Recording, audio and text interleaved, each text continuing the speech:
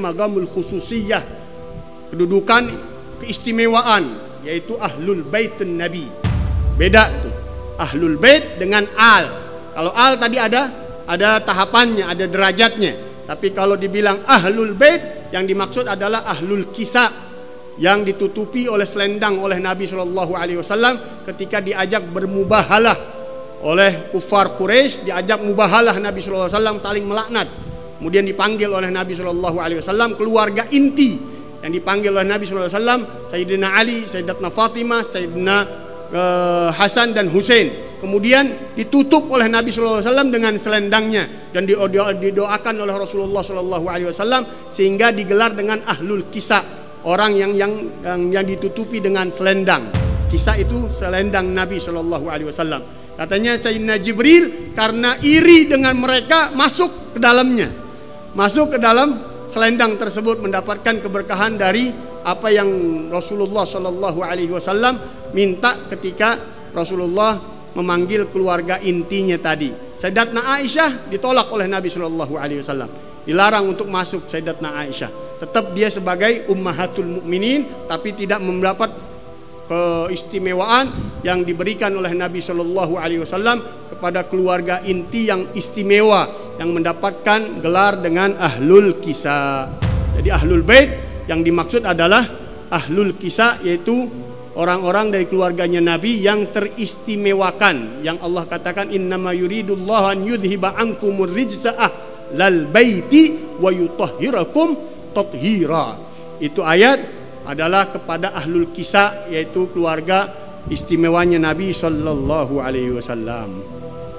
At-tahirin yang ber, yang suci yang diambil dari dari ayat tersebut wa yutahhirukum tathira wa sahabatihi ajmain dan para sahabatnya. Sahabatnya orang yang hidup di masa Nabi. Orang yang hidup beriman mati dalam keimanan dalam dalam uh, masa hidupnya berjumpa dengan Nabi dalam keadaan hidup Nabi Shallallahu Alaihi Wasallam dan dia mati dalam keadaan iman karena ada beberapa dari sahabat yang dahulunya di masa Rasulullah beriman ketika Rasulullah meninggal akhirnya keluar dari keimanan. Itu nggak digelarkan lagi dengan sahabatnya Rasulullah Shallallahu Alaihi Wasallam walaupun dia berjumpa. Dan harusnya di dunia bukan di akhirat. Di alam di alam bumi maksudnya bukan di bukan di langit. Kalau di langit ke pertemuan Nabi SAW kepada para malaikat dan para arwah salihin dari dari para rasul, para nabi yang berjumpa ketika Isra Mi'raj itu apakah semua dinamakan sahabatnya Nabi? Tidak. Kenapa? Karena bukan di alam dunia, bukan di alam di bumi. Mereka perjumpaannya di di, di alam arwah bertemunya dengan Rasulullah Shallallahu Alaihi Wasallam bukan di masa hidupnya Rasulullah Shallallahu Alaihi Wasallam dengan jasad mereka tapi mereka berjumpanya dengan ruh mereka dengan Rasulullah Shallallahu Alaihi Wasallam sehingga tidak dikategorikan kecuali Nabi Isa alaihissalam. Nabi Isa alaihissalam digelar Rasul, digelar Nabi dan digelar juga sahabatnya Rasulullah SAW. Kenapa? Karena nanti di akhir zaman dia diturunkan lagi oleh Allah Subhanahu Wa Taala dan menjadi pengikutnya Nabi Shallallahu Alaihi Wasallam.